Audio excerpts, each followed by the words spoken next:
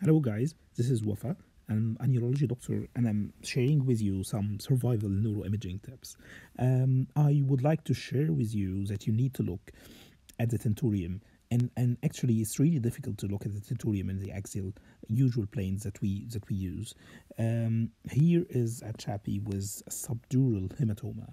It's very subtle and unless you know where to expect the tentorium is, it's very difficult to see. So here is a slightly hyperdensity in this non-contrast CT that is present in multiple slices for a guy presenting with a confusion. He is on anticoagulation.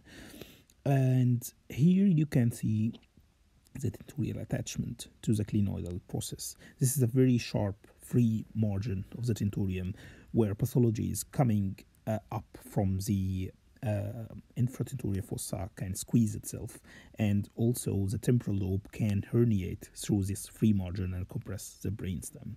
For the tentorium to be able to see it nicely, you need to swap the axial planes to another.